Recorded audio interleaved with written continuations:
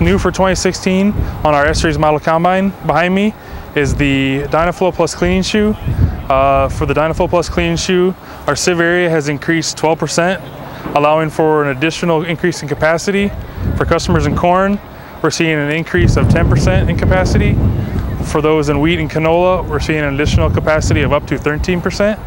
Uh, this means we have an additional 1.5 acres per hour, adding to around 15 acres per day on a 10 hour workday. Another option available on our S-Series model combine for 2016 is active terrain adjustment.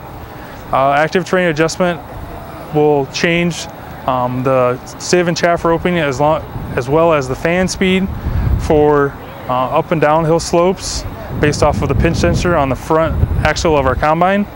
This will benefit, allow customers to increase their productivity and maintain their speed while going up and down hills. Uh, another optional feature on our S-Series Combine for 2016 is an onboard air compressor.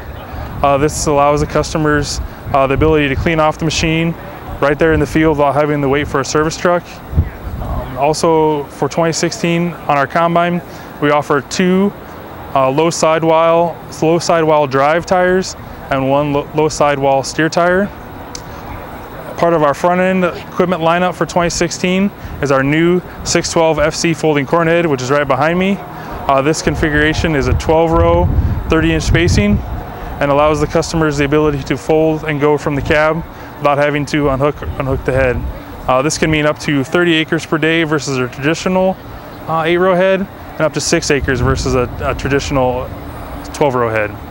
We also have advancements to our HydraFlex draper lineup uh, that includes all the features that were available last year on our 645 FD HydraFlex draper, uh, include a wider center feed section, stronger reel fingers, and um, smaller dividers for the crop.